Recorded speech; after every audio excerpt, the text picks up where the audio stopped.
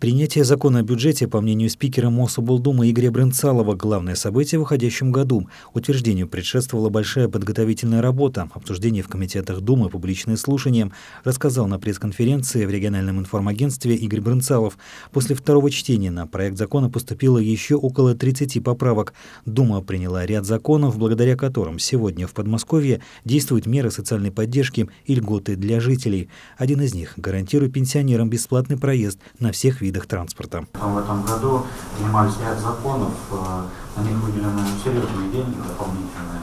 Если взять, э, вот, например, четыре категории дополнительно на, на бесплатный проезд э, во всех видах транспорта, это 438 тысяч жителей дополнительно Московской области получили возможность ездить на всех видах транспорта. То есть ну, 4 с лишним миллиарда рублей на это.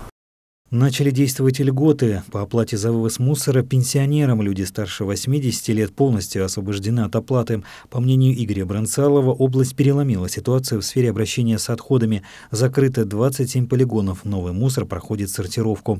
В рамках государственной программы «Экология окружающая среда Подмосковья» на 17-26 годы предусмотрено строительство 12 комплексов по переработке отходов. Доля расходов несет на себе и бюджет области. Приняли решение с нового года с электронной парламент, где весь документооборот через э, портал будет проходить, э, чем сократим большое количество объема использования бумажных носителей. Говоря о планах парламента, Игорь Бронцалов рассказал, что Дума планирует рассмотреть более 40 законов. Сделать власть более чуткой к запросам жителей помогло преобразование районов в городские округа. Самое главное, чтобы власть от людей не отдалялась, время была в диалоге.